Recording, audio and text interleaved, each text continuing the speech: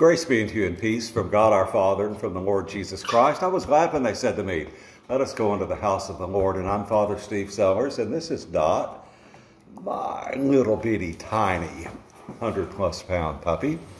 And this is our brief daily message of hope. And for the first time in a long time, I have a Saturday morning that's not all booked up. I do have a funeral this afternoon, uh, and then preparations for uh, the Sunday.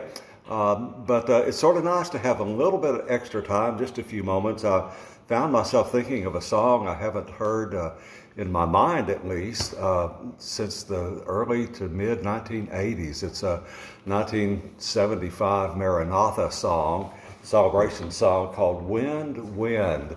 Uh, we had a little windstorm yesterday as a cold front came in, um, and the song Wind, Wind, Blow on Me says, Wind, wind, blow on me. Wind, wind, set me free. Wind, wind, my Father sent the blessed Holy Spirit.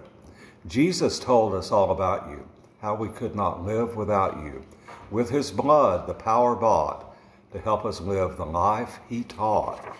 Simple little uh, 145 song.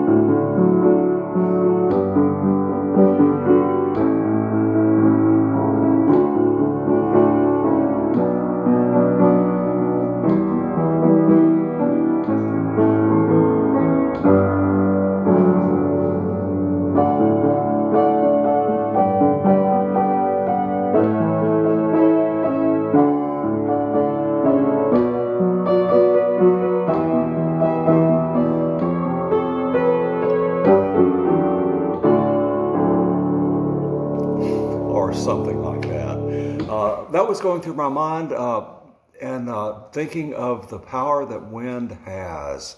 Uh, when it's uh, in great excess and powerful, it, it can be very destructive. Uh, but a gentle breeze, I've always sort of made it the equivalent of the breath of God. you know, we still can't create air and we can't still create climates or environment. Those are things that God created and gave to us to be stewards of.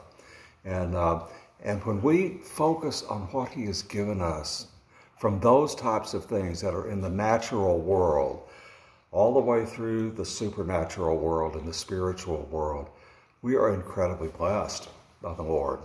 Uh, he has provided so greatly for us, even personally within our own bodies. Now, often we just take uh, those great gifts from God for granted. We mistreat our bodies, we mistreat the environment, we uh, mistreat uh, the creation that God has set us in. Uh, and when we ignore it and we ignore all those things, uh, that passive ignorance causes great damage to us because we're not enjoying the fruits of this creation that God has given to us and the marvels of this, His creation. Uh, and I was reading again today through my favorite psalm, Psalm 42, uh, that says this starts out as the deer pants for streams of water. So my soul pants for you, O God. My soul thirsts for God, for the living God. Uh, our soul has an empty place in it that only God can fill. We try to fill the emptiness within us all sorts of ways, and they're always failing us because only God can satisfy the yearnings of our soul. We need Him and we need to have a relationship with Him to experience the wonders that He has set before us. And when we don't do that, our soul gets downcast. And this is why I love Psalm 42. Two times in it, it says this little, little refrain Why are you so full of heaviness, O my soul? And why are you so disquieted within me? Put your trust in God, for I will yet give thanks to him, who is the help of my countenance and my God.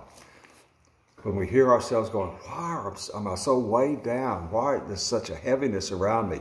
We need to hear the psalmist say, Why are you so full of heaviness, O my soul?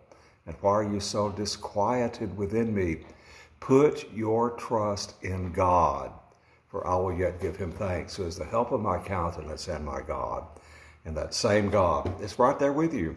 Well, I hope you have a wonderful Saturday day, and, and God willing, Dot and I will see you here again Monday, and I hope to see you at Mass tomorrow. God bless you.